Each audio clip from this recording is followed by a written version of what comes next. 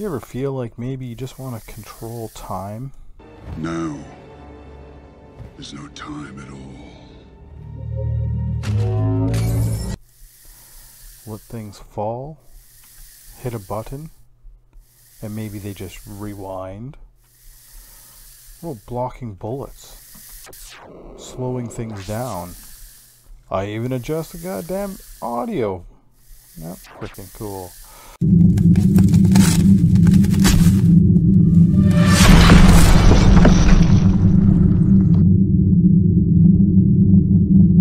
This is involving a asset called Chronos, which is done by the same guy that does Bolt, uh, which is Unity's uh, visual scripting.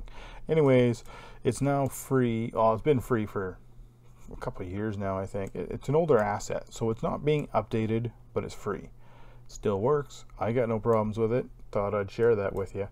So, this is just a little scene I have where we have I have these spheres and they have effects on them. And in order to to stop these things I put this thing called a timeline child on there and on there and this guy has a timeline and we're using a clock called enemies. Beyond that these guys all they do is just travel forward using velocity and one of them has an audio uh, playing in 3D sound. I didn't bother putting it on all of them, but on on one of them. And my little fake little player here, who is a horrendous player, has got virtually nothing for logic. I can just more or less move him. But if I hit uh, spacebar, I create a little time zone. And as you see, I think it's that guy with the sound. Where's that guy? Yes, yeah, did you hear that sound? Right, so I can adjust. Well, it it no, I guess not me. It's it adjusting the the audio. So, but here is another particle effect and just a animated guy in looping. And if I I can freeze his animation like it's nothing right? Uh, I can also do, whoops, whoop, and my crazy shield, but I can also do the particle effects with them. Now here I got two groups of boxes. See a whole bunch of boxes, red and blue, and if you look at them, uh, they have a timeline, and this guy is looking at the blue clock, whereas the red guy is looking at the red clock. So I can control those. I can say we can go backwards in time or forward in time. Now they're not doing anything. Uh, I'll show you why, but first we'll look at this. So I can take the red boxes, I can speed them up so they fall, and they're just using their normal physics. And then I can take that and I can just say, you know what, let's go backwards. And they go back. Pretty cool. And I can do the blue ones separately. I can rewind those. Uh, I could do them both at the same time at different speeds. You know, and then maybe have this one going backwards and then forwards and this one's going backwards. You know, all sorts of crazy shit going on. But I could have them, say, both going backwards. Let's rewind them all. Right, they're falling, and then I can use my global one here and control them both the same. Now I have a third little box here up in the air, this gray box. And this guy's actually got his own timeline. He's not using any of the master timelines. He's got his own little timeline. He's got a local clock. He's got a time scale of, I don't know why he's using that. Uh, but I could I could take his scale, his local scale, and I can move his local scale around and he's all by himself. And I can do that with all these happening doing their own thing. Right? At the same time I can be running around with this player and be doing stuff with those. And one, one of the other kind of cool things is these guys are all doing their gravity thing and their rewind thing.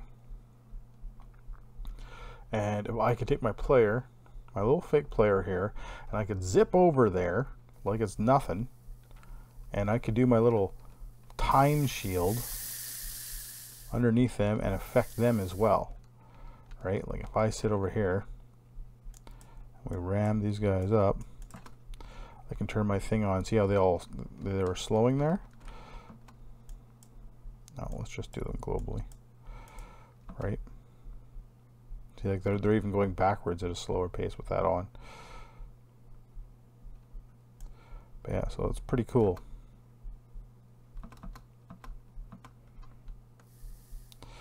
Um, yeah. So on on that on that shield, if I pull a shield out, it's scaled down because it zooms in. But there's my shield. I also made that shader. I'm so proud of myself.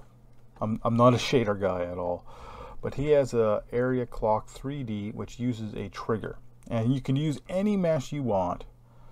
Just just just keep in mind that anything that that needs to affect the things in this time have to like they have to follow the same laws of triggers. So it needs a rigid body to hit this trigger. Now, with this, the area clock,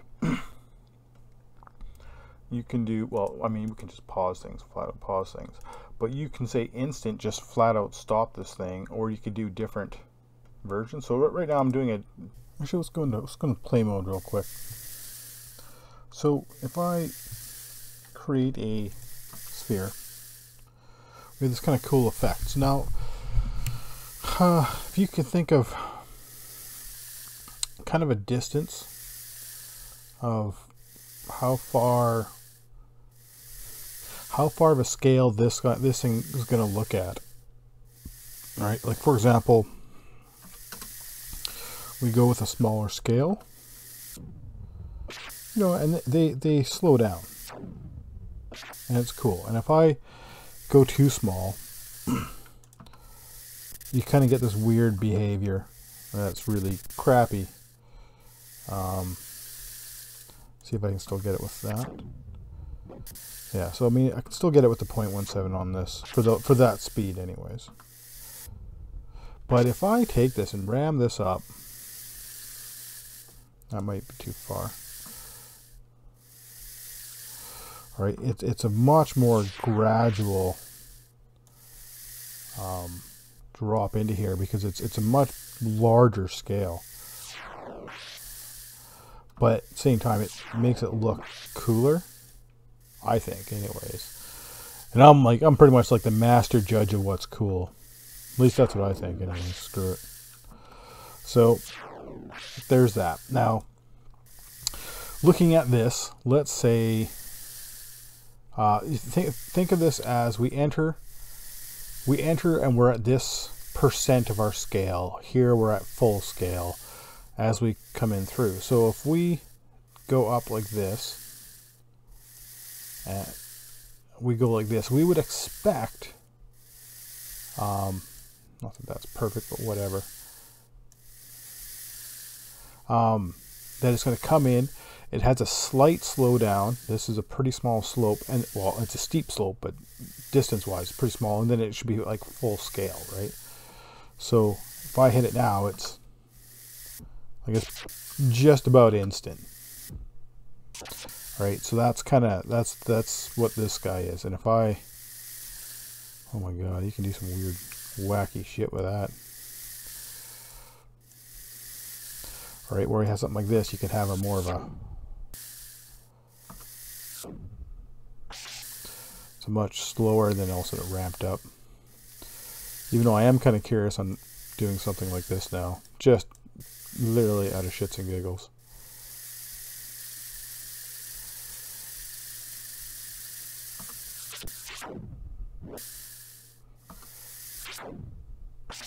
That wasn't nearly as cool as I thought it was going to be. But anyways, that's kind of how this whole thing works and it, it can really give you some really neat effects. So you only really need a couple things, right? Like if I wanted to make a new thing, I could literally just create a box.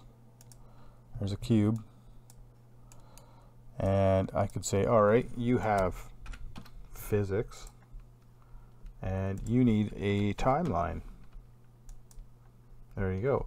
Now we could do local like I did over here, or I can say, you know what, you're going to run off of one of your one of our global times, and I'll show you those in a minute. And we need a global clock to choose from, right? So we can say I'm, I'm going to run off of just both colors, and the recording duration and all that fun stuff. Um, so, like I said, I mean now, just just with adding that, it's really all I had to do right? I tell them which timeline to use and I add a timeline component. Pretty, pretty simple, pretty straightforward. Keep in mind, if you had children, um, that you also want to scale down such as, you know, particle effects and stuff, you'd have to put that, the child component on there too.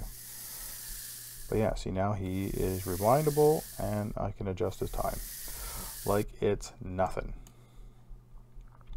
So what are the timelines? Good question, me, or however that may work.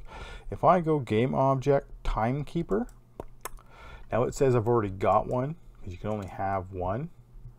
Um, but it's one of these. I, I'm going to delete it and we'll remake it. But so I delete it. So we have nothing, right? So if we were going to set this thing up from the start, we would go, okay, we have timekeeper. We create them. We now have this. Right, so now we have a clock called root, and we have a parent. So I could say this is the master time. Right? There we go. He's master time. And then I could turn around and say these guys, or well, you know, let, us take all these cubes. Oh, I can't multi-edit. Um, this now says missing. But now we have master in here. So he's off of the master time. So if I adjust this scale, anything using master time will adjust. Now the coolest thing about this is I can add more clocks. I can add, I just type in clock. We want another global clock. And we can make another one, and another one, and another one. And they all kind of stack. So this one I could say is our blue, and its parent is the master. Well now I can turn around and go to this block, whichever one I had, I don't even know anymore, but whatever. This guy will say and I can say you, you know what? You're gonna go with blue. But so now if I adjust blue his time scale changes.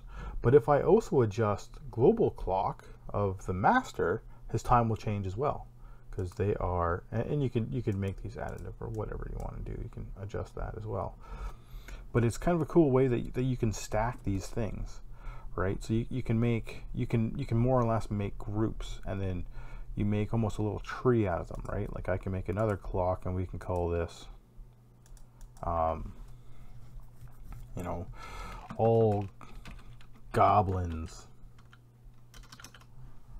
right? And then if you had, and we could parent him to the, the master, or we can parent him to the blue, and then he'll parent to the master, and then now this guy's affected by all of the times right? So you, you, you, can you can really stack things up and you can make all this different stuff. So if you want to do a pause game, you could pause him and it pauses everything right down because he's the, he's the root, right? So that's, it's pretty cool, right? And like I said, I mean, if you have children like, like these things do, uh, all they need is that timeline and that say, hey, which which one am I using here, right? And then you can say, is it rewindable or not? Uh, there is some limitations with that, like if you have, especially things like particles, it doesn't like uh, various randomness on the particles. Like it, it, can do a lot. Like you can see, like those ones here that were running were pretty good.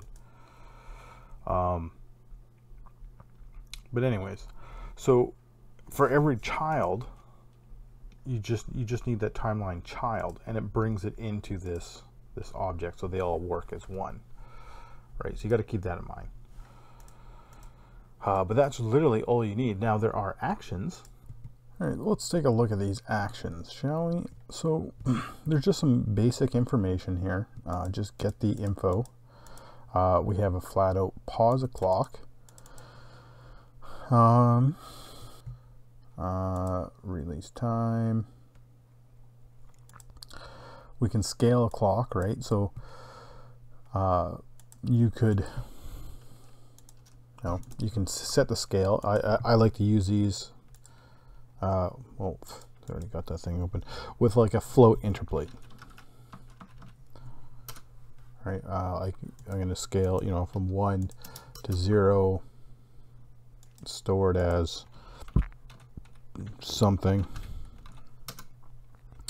and set it to something every frame and then now it'll go from 1 to 0 over one second. That's that's typically how I do those type of things, but whatever. Um, we also have uh, scale time smoothly.